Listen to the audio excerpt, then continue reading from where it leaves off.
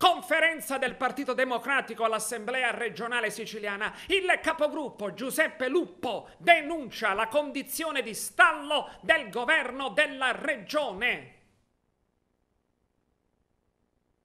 Il Partito Democratico ha già presentato 63 disegni di legge, abbiamo chiesto al Presidente Musumeci di trattare questi disegni di legge in aula affinché davvero il Parlamento siciliano possa approvarli disegni di legge che riguardano diversi settori produttivi, dal, che possono dare una boccata d'ossigeno all'economia, ai diversi settori dell'economia. Penso alla riforma del turismo, ma penso anche alla nuova legge urbanistica, eh, la legge per le zone franche montane, i, la legge per, eh, a sostegno dei comuni che hanno eh, beni UNESCO, sono davvero tante le nostre proposte sulla pesca, per la tutela dell'ambiente, penso al disegno di legge plastic free per tutelare soprattutto le nostre aree naturali, un insieme di proposte che abbiamo elaborato che riguardano anche la sanità, che riguardano il commercio, l'artigianato, davvero tanti settori che aspettano risposte concrete dal Parlamento e che il governo regionale non può più paralizzare. Anche all'assestamento di bilancio, quindi la Commissione bilancio non è più in grado di dare copertura finanziaria a nessun disegno di legge